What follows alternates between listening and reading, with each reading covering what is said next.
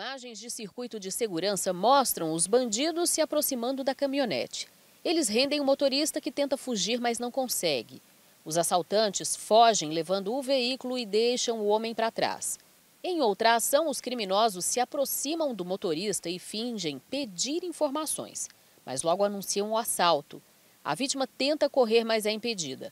Mais uma vez, os bandidos fogem levando a caminhonete.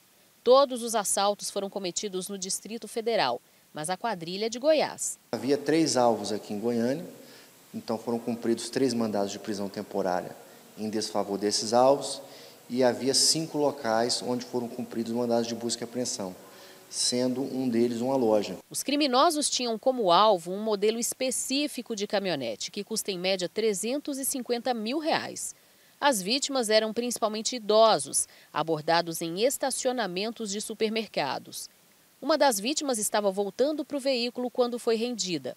O motorista coloca as mãos na cabeça e os assaltantes fogem com a caminhonete.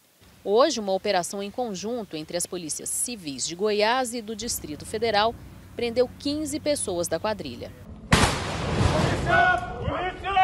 Também foram cumpridos 10 mandados de busca e apreensão em Goiânia e cidades do entorno de Brasília. Ok, munição. Ok. Quantos?